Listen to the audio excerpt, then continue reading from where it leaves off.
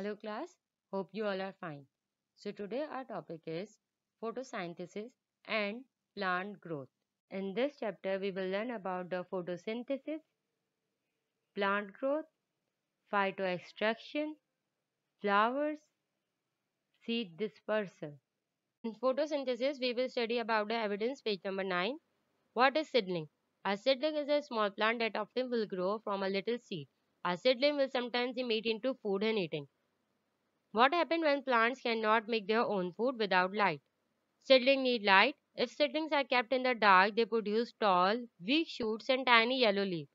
This growth uses up their energy supply so the plants die after a few days. Seedlings use their first leaf to photosynthesis and produce the glucose they need to keep growing. Now we are starting 2.3 plant growth. Page number 12. Water. Water helps a plant by transporting important nutrients through the plant. See the picture of a strawberry plant. They are growing in water-filled pipes high above the ground. Growing plant like this is called hydroponics. What is hydroponics? Hydroponics gardening is a method of growing plant without soil. In hydroponics, growing plant with their roots in water instead of soil. Minerals. Minerals is defined as a naturally occurring inorganic nutrient found in the soil and water that is essential for the proper functioning of animals and plant body. When plants take in water from soil, they also take in essential minerals. Different soils contain different amount of each mineral.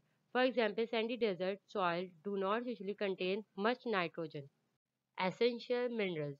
To find out which minerals plants need, scientists start with a mixture of minerals and take one away at a time. Each minerals contain a different element. Together, the element provide everything a plant needs for healthy growth. Mineral element. Nitrogen, potassium, phosphorus, magnesium.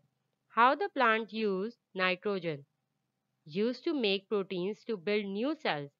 Deficiency symptoms means a lack of shortage. Older leaf turn yellow. How the plant use potassium? Used during photosynthesis and respiration. Deficiency symptoms. Poor flowers and fruit growth. Older leaves, wet and green to lose color. How the plant use phosphorus? Involve in energy transfer during photosynthesis and respiration. Deficiency symptoms. Poor root growth, leaf tips turn brown and older leaf turn purple. How the plant use magnesium? Used to make chlorophyll. Deficiency symptoms. Older leaf turn yellow between the veins. Aeroponics. Aeroponics is a way of growing plants without soil and with very little water. In this way, the crown can grow upward and the root downward without needing any soil at all.